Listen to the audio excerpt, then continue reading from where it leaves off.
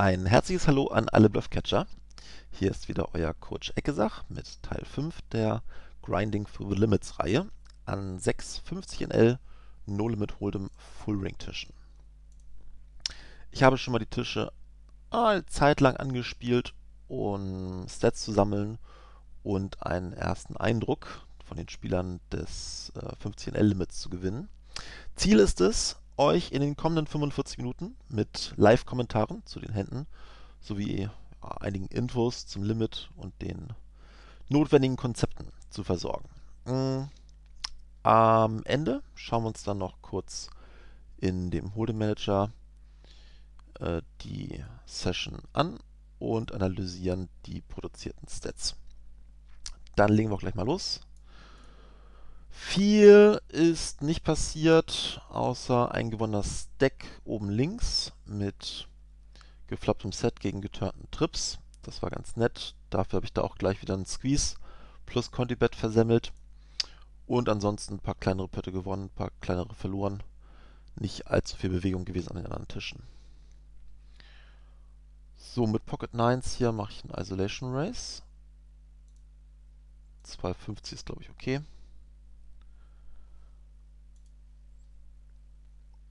Ich kann jetzt wirklich noch nicht einschätzen, ob das ein schwacher Spieler ist, der hier mit einer weiten Handrange in UTG limmt, oder ob es jetzt vielleicht ein Tricky Trappy Player ist, der hier sowas eigentlich bloß mit irgendwelchen Monstern macht, die er da slowplayt. Aber im Zweifelsfall sollte man, wenn man sich nicht sicher ist, aggressiv sein. Das ist so ein guter Leitspruch im Null mit Hold'em. Auch hier auf dem King High Board mache ich eine Conti-Bet. Gehe davon aus, dass es ein Board ist, was eher ich getroffen habe und nicht mein Gegner. Und dass mit der Conti-Bet halt den Pot sehr, sehr häufig mit einsammle. Wenn er mich hier callt, hat er entweder ja, einen King X, einen Jack X getroffen, Straight Draw, Flush Draw. Und ähm, ich denke, dass es hier nicht so viel Sinn macht, die Gegner von einem äh, König herunter zu bluffen. Deswegen nehme ich mir lieber die Free Card. Ich kann mich ja noch verbessern mit meinem 2-Outer. Ärgerlich, wenn er Queen 10 hat.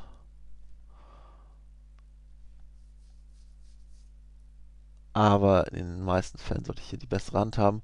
Und das ist auch meines Erachtens ganz guter Spot für einen Value Race. Äh, Pot ist groß, ich habe meine Hand äh, verbessert und die einzige Hand, die mich wirklich nervt, die mich wirklich schlägt, ist Queen 10. Wenn er sie hat, dann ist es halt bedauerlich.